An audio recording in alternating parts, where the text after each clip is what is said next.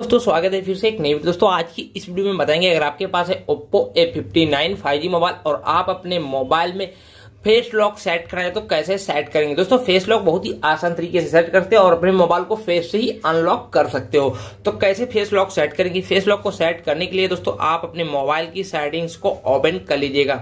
Settings को open करते हैं तो कुछ इस तरह से आपके मोबाइल में सो जाएगा। थोड़ा नीचे आ जाना है, यहाँ पे पासवर्ड एंड सिक्योरिटी वाले ऑप्शन पे क्लिक करना है।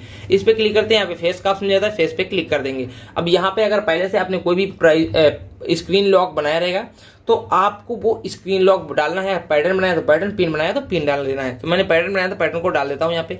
डालने के बाद यहाँ पे कंटिन्यू का ऑप्शन जाएगा कंटिन्यू वाले ऑप्शन पे आपको क्लिक करना और अपने फेस को कर लेना है ऐड तो यहाँ से कंटिन्यू पे क्लिक करेंगे। अब जैसे ही कंटिन्यू पे क्लिक करते हैं सकते हैं, हमारा फेस जो है, वो ऐड हो गया है। अब ऐड हो चुका है दोस्तों, उनको फेस ही अनलॉक कर पाएँगे। दोस्तों, यहाँ पे देखते हैं मोबाइल को लॉक किया लॉक करने के बाद दोस्तों, यहाँ पे देखते हैं, हमारा मोबाइल जो है फेस ही अनलॉक हो रहा है। तो इस तरीके से आप अपने मोबाइल में फेस लॉक सेट कर सकते हो, बहुत ही आसान तरीके से। वीडियो सुनकर वीडियो को लाइक और चैनल पे नए चैनल को सब्सक्राइब ज़रूर मिल सकती नई वीडियो में।